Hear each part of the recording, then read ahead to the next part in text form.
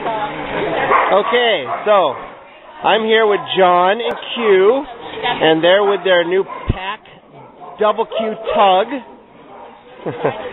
As you can see, they look like they're having a lot of fun.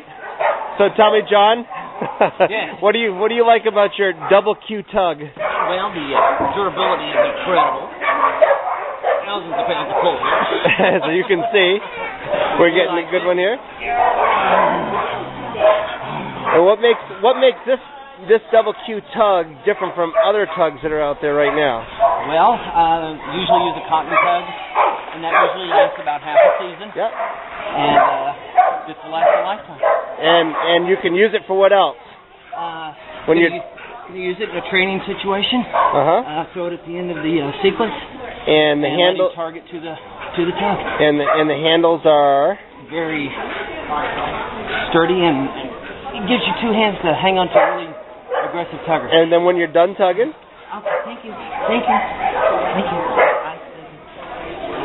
Oh, look at that. boy, okay. So it doubles as not only as a tug, tug, but it also a that you can take into the ring and still target your dog at the end. excellent.